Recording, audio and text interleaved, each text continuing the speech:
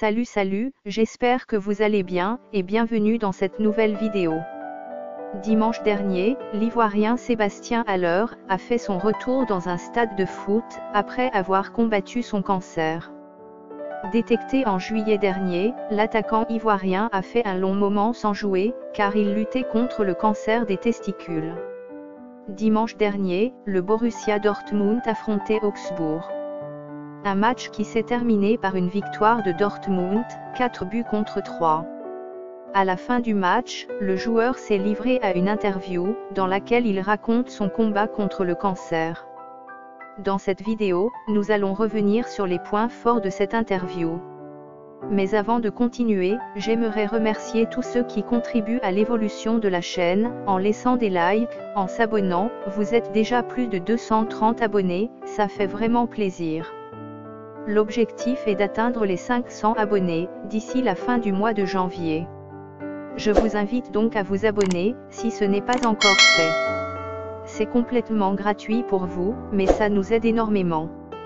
Et de toutes les façons, vous pourrez toujours vous désabonner à tout moment, si jamais vous n'aimez pas le contenu de la chaîne.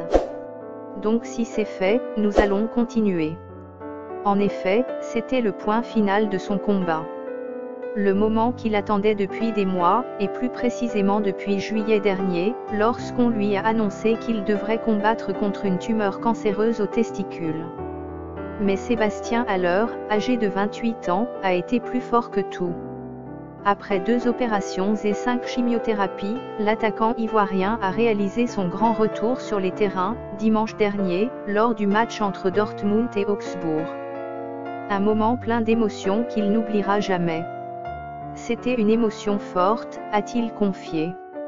C'est ce que j'avais en ligne de mire depuis le premier jour, pouvoir montrer mes qualités, et savoir que, derrière, il y avait eu un combat. C'est un moment dont je vais profiter, avec beaucoup de recul. J'étais dans le travail, et dans la performance. Pendant les six derniers mois, je n'ai pas arrêté de travailler. Même pendant la trêve de Noël, c'était famille, famille, famille, et je devais expliquer mon histoire car il y avait des personnes que je n'avais pas vues depuis longtemps. Sébastien alors déclare surtout ne pas avoir eu peur, tout au long de son combat. Il s'est d'ailleurs confié en disant, pourquoi avoir peur? Si quelque chose doit se passer, ça se passera, a-t-il expliqué. Si tu as un certain contrôle, tu pourras facilement appréhender tes peurs. Je n'avais pas le choix, je devais avoir confiance au corps médical, qui a été exceptionnel avec moi. Il fallait continuer à être solide mentalement, être bien entouré et se dire qu'avec cette attitude je passerai à travers tout ça. Et c'est aussi un peu une responsabilité en tant que joueur pro. Si le pire était la chimio, qui a défoncé son corps à l'intérieur, alors que l'opération s'est quant à elle chargée de l'extérieur, l'international ivoirien a toujours voulu montrer que tout allait bien, malgré une sorte de regard de pitié. Ne vous inquiétez pas, car tout va bien. Ce n'est pas du tout méchant, les gens sont dans la compassion, et je le comprends car ils veulent en parler. Vous savez, ce n'est pas fréquent qu'un footballeur ait un cancer. En effet, comme il a si bien dit, il n'est pas fréquent qu'un footballeur ait un cancer. Du coup, on peut comprendre que les gens aient de la compassion à son égard. Mais ce que nous admirons le plus, c'est l'adversité, et surtout la solidité mentale dont il a fait preuve, durant son combat. Pour tout cela, nous lui souhaitons le meilleur pour la suite, et surtout, nous espérons qu'il garde cette mentalité de champion.